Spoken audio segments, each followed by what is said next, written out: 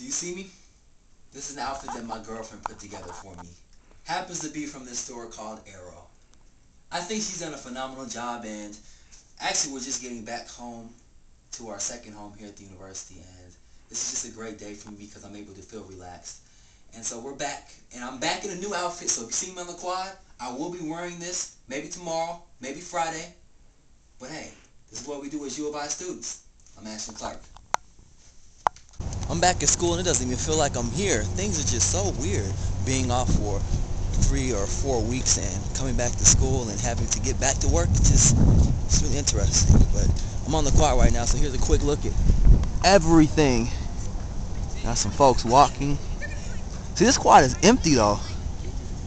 And that's the issue because it's freezing cold out here. It's like three degrees below zero.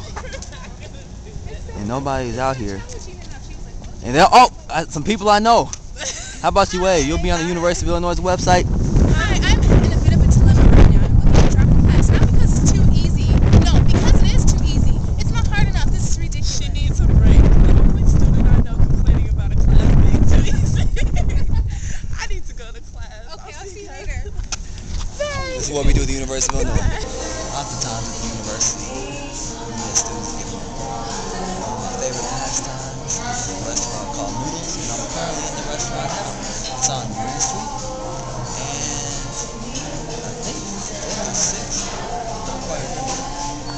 nice inside too.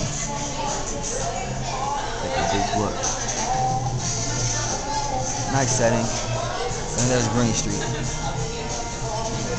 Come check it out sometime. Everyone, I want you to meet Jim.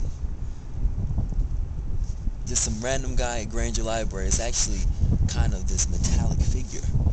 Kind of looks real. Hmm, University of Illinois.